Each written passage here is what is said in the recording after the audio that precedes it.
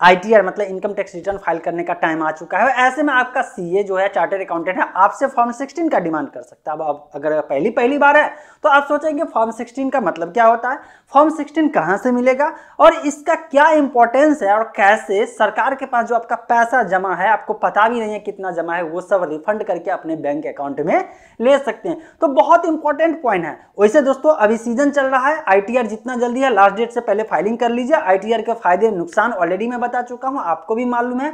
और अगर आप पे टैक्स लाइबिलिटी बनता है और आप जमा नहीं करते हैं तो फ्यूचर में जाके प्रॉब्लम हो सकती है। खैर, वो सब बात अलग है। पहले समझते हैं फॉर्म 16 का मतलब क्या होता है। देखिए फॉर्म 16 एक ऐसा फॉर्म है, जिसमें आपके पूरे टीडीएस का मेंशन रहता है कि आपके मतलब कि पैन पे कितना टीडीएस कट के पैसा बचा हुआ है। टीडीएस मतलब tax deducted at source tax जो है, पहले ही आपको मिलने से पहले उस अमाउंट पे काट लिया गया अब ये मिलता किसको है? फॉर्म 16 जो नौकरी कर रहे होते हैं, खासकर सरकारी नौकरी जो कर रहे हैं, उनका फॉर्म 16 लेना बहुत ज़रूरी हो जाता है।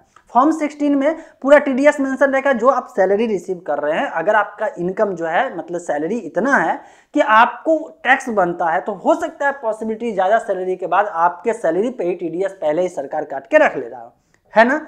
और जब आप टीडीएस काट के रखा हुआ है और आप आईटीआर फाइलिंग करने जाएँगे और आप जो है देखेंगे कि टैक्स लाइबिलिटी बन रहा है और चूँकि पहले से आपके पैन पे जो है टीडीएस रखा हुआ है वहाँ पे मतलब कट के अमाउंट रखा हुआ है तो जब तक वो टीडीएस वाला पूरा रिपोर्ट नहीं मिलेगा, तब तक आप आईटीआर फाइलिंग करते वक्त जो है वो डिडक्शन रिफंड नहीं ले सकते हैं। तो सवाल आएगा ये फॉर्म 16 आएगा कहाँ से, देगा कौन? देखिए, जिस भी डिपार्टमेंट में आप काम कर रहे हैं, चाहे रेलवे में काम कर रहे हो हेल्थ सेक्टर में काम कर रहे हो एजुकेशन सेक्टर में काम कर रहे हो, ठीक? उस सेक्टर का जो है मतलब कि उस फ़ील्ड का या उस डिपार्टमेंट का जो अकाउंट सेक्शन होगा, उससे जाके कांटेक्ट करिए, उनसे डिमांड करिए कि फॉर्म 16 दे, वो फॉर्म 16 देंगे, जिसमें आपके सैलरी पे जब जब जितना अमाउंट का टीडीएस कटा होगा, वो सब मेंशन होगा। जब मेंशन होगा तो इससे फ़ायदा आपको क्या होगा? होगा ये कि सपोज़ आपका सैलरी इतना है कि आपको जो है टैक्स देना है मतलब टैक्स पे करना है।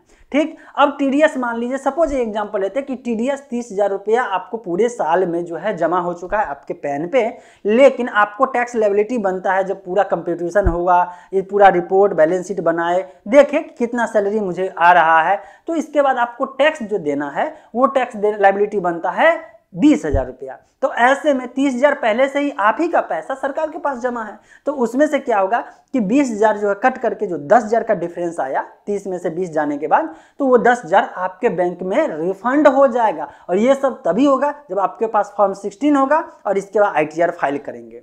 अब एक सवाल और आता है आपके मन में। हो सकता है आएगा कि कोई ऐसा पर्सन है जो पेंशन रिसीव कर रहा हो और उसके पेंशन वाले अमाउंट पे भी जो है अगर टीडीएस कट रहा है तो ऐसे कंडीशन में वो फॉर्म 16 कहाँ से मिलेगा? तो आप जिस बैंक में अकाउंट है, जहाँ रिसीव पेंशन कर रहे हैं, उस बैंक वाले से कांटेक्ट करिए, वो आपको फॉर्म 16 प्रोवाइड कर सकते हैं और आपको हेल्प भी कर सकते हैं। देखिए फ्रेंड्स बात यह है कि अगर आप टीडीएस को क्लेम नहीं करते हैं तो आपको रिफंड नहीं मिलता है और पैसा जो है सरकार के पास पड़ा रह जाएगा। सरकार आपसे पैसा लेना तो बहुत तरीके और बहुत आसानी तरीके से चाहता है, किसी तरह से जो है ले ले। लेकिन जब सरकार से आप वापस लेने चलेंगे तो बहुत सारे डिटेल्स फिलअप करना पड़ेगा, बहुत सारे प्रोसेस से जाना पड़ेगा। तो ऐसे में टीडीएस के बारे में पूरी जानकारी चाहिए तो इस वीडियो से पहले वाला, वैसे डिस्क्रिप्शन में लिंक दूँगा, वो देख लीजिएगा। और चूँकि अभी आईटीआर फ़ाइल करने का टाइमिंग चल रहा है, ऐसे में कोई सर्किल का आपके आसपास के लोग मिस न कर दे, इसलिए इन्फॉर्मेशन दे करके उनकी जानकारी बढ़ाइए।